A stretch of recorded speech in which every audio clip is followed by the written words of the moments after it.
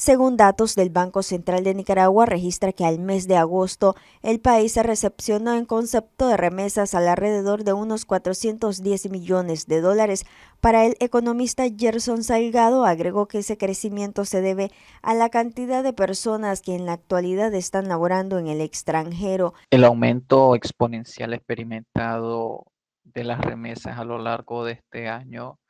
no es de sorprender debido principalmente a dos factores, pudiera decir yo,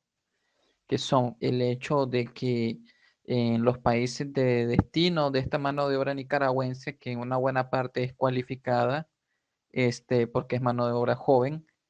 eh, las economías ya han empezado un proceso más de crecimiento o de continuidad o normalidad económica, que se vio estancado y hasta retrocedido en algún momento como consecuencia de la pandemia, ¿verdad? Comenzarse a abrir las fronteras de los principales países en los cuales la mano de obra nicaragüense decide emigrar, como son Estados Unidos,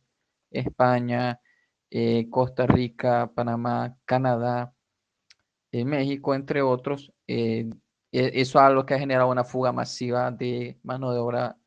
que este, inclusive ha hecho que algunas instituciones, algunas empresas tengan problemas con, en cuanto a selección de personal porque se está yendo no solo mano de obra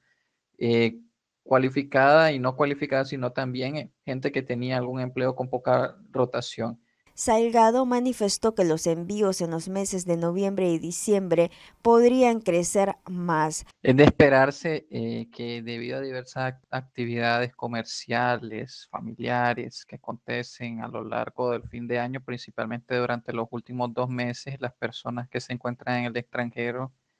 eh, aprovechando ese excedente de liquidez que éstas obtendrán con el aguinaldo o bonus que obtendrán, envíen algún dinero extra durante estos meses que se va a ver, eh, que se va a observar en la dinámica comercial, como mencionaba, con producto de diversas actividades como el Black Friday, eh, las purísimas, promociones, bachilleratos que acontecen siempre por lo general en los últimos dos meses del año y, aparte de la Navidad y las fiestas de Navidad y de fin de año que son los que dinamizan eh, el comercio